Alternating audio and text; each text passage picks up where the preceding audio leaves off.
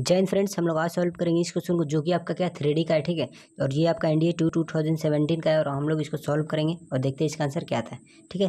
तो देख सकते हैं यहाँ पर the point of intersection of the line joining the points, एक ये पॉइंट्स, यानी कि दो पॉइंट्स दिया with the X Y plane. X Y plane का मतलब क्या होता है? जेड इक्वल टू ज़ीरो, ठीक है?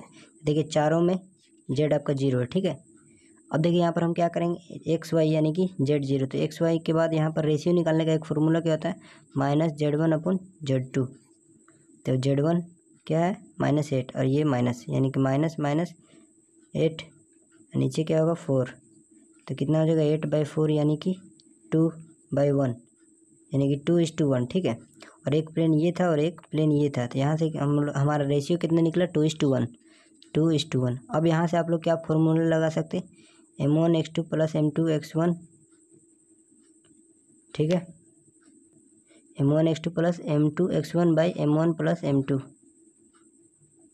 ठीक है? इस फॉर्मूला पर हम इसको सॉल्व करेंगे। एम वन एक्स टू यानी कि फाइव टू जा ten plus M two X one यानी कि वन थ्री जा माइनस थ्री आएगा।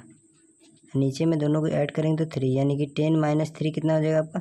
सेवन बाई थ्री देखिए seven by three seven by three यानी कि ये निगेटिव है तो ये नहीं होगा और ये भी आपका नहीं होगा, ठीक है? यानी कि यही दोनों में से अब आपका आंसर होगा। अब निकालते हम लोग क्या ये? तो इसके लिए एम वन वाई टू यानी कि एम वन वाई टू यानी कि माइनस ट्वेल्व उसके बाद एम टू वाई वन यानी कि one into four plus four नीचे में थ्री यानी कि माइनस एट बाई थ्री यानी कि ऑप्शन नंबर आपका ए राइट आंसर, ठीक है?